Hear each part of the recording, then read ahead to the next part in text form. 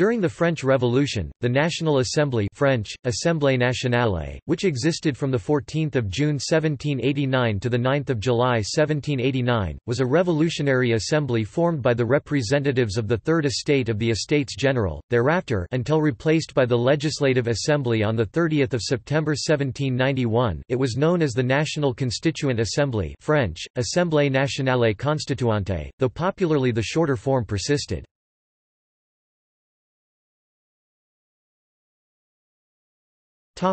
Background information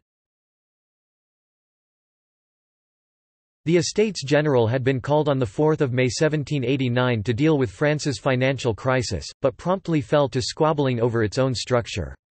Its members had been elected to represent the estates of the realm, the First Estate the clergy, the Second Estate the nobility and the Third Estate which, in theory, represented all of the commoners and, in practice, represented the bourgeoisie. The Third Estate had been granted double representation, that is, twice as many delegates as each of the other estates. But at the opening session on 5 May 1789 they were informed that all voting would be by power, not by head, so their double representation was to be meaningless in terms of power. They refused this and proceeded to meet separately. Shuttle diplomacy among the estates continued without success until the 27th of May. On the 28th of May, the representatives of the Third Estate began to meet on their own, calling themselves the communes, commons, and proceeding with their verification of powers. Independently of the other bodies, from the 13th of June to the 17th of June they were gradually joined by some of the nobles and the majority of the clergy and other people such as the peasants. On 13 June this group began to call itself the National Assembly.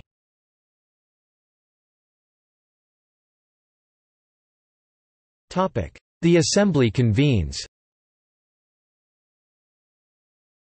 This newly created assembly immediately attached itself onto the capitalists—the sources of the credit needed to fund the national debt—and to the common people.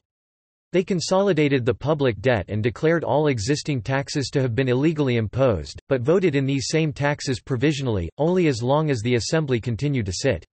This restored the confidence of the capitalists and gave them a strong interest in keeping the assembly in session. As for the common people, the assembly established a committee of subsistence to deal with food shortages.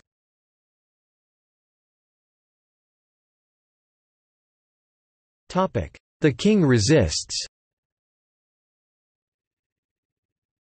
Jacques Necker, finance minister of Louis XVI, had earlier proposed that the king hold a séance royale royal session in an attempt to reconcile the divided estates. The king agreed, but none of the three orders were formally notified of the decision to hold a royal session. All debates were to be put on hold until the séance royale took place. Events soon overtook Necker's complex scheme of giving in to the communes on some points while holding firm on others. No longer interested in Necker's advice, Louis XVI, under the influence of the courtiers of his Privy Council, resolved to go in state to the Assembly, annul its decrees, command the separation of the orders, and dictate the reforms to be effected by the restored Estates General. On 19 June he ordered the Salle des Etats, the hall where the National Assembly met, closed, and remained at Marly for several days while he prepared his address.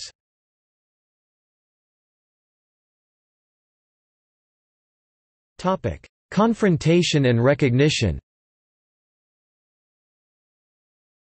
Two days later, deprived of use of the tennis court as well, the National Assembly met in the Church of St. Louis, where the majority of the representatives of the clergy joined them. Efforts to restore the old order had served only to accelerate events.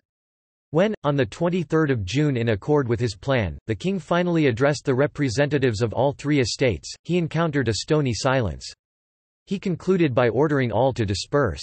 The nobles and clergy obeyed, the deputies of the common people remained seated in a silence finally broken by Mirabeau, whose short speech culminated, "...a military force surrounds the assembly. Where are the enemies of the nation? Is Catiline at our gates? I demand, investing yourselves with your dignity, with your legislative power, you enclose yourselves within the religion of your oath. It does not permit you to separate till you have formed a constitution. The deputies stood firm. Necker, conspicuous by his absence from the royal party on that day, found himself in disgrace with Louis, but back in the good graces of the National Assembly. Those of the clergy who had joined the assembly at the Church of St. Louis remained in the assembly. Forty-seven members of the nobility, including the Duke of Orléans, soon joined them. By the 27th of June the royal party had overtly given in, although the likelihood of a military counter-coup remained in the air.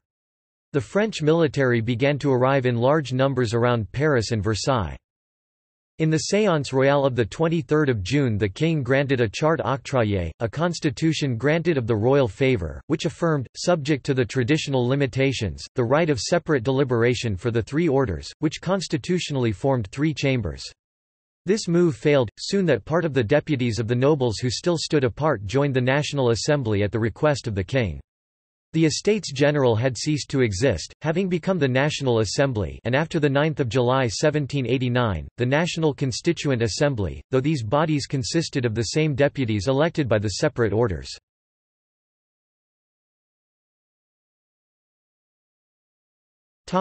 Reconstitution Messages of support poured into the Assembly from Paris and other French cities. On 9 July 1789, the Assembly, reconstituting itself as the National Constituent Assembly, addressed the king in polite but firm terms, requesting the removal of the troops which now included foreign regiments, who showed far greater obedience to the king than did his French troops, but Louis declared that he alone could judge the need for troops, and assured them that the troops had deployed strictly as a precautionary measure. Louis offered to move the assembly to Noyon or Soissons, that is to say, to place it between two armies and deprive it of the support of the Parisian people. Public outrage over this troop presence precipitated the storming of the Bastille, beginning the revolution. Notes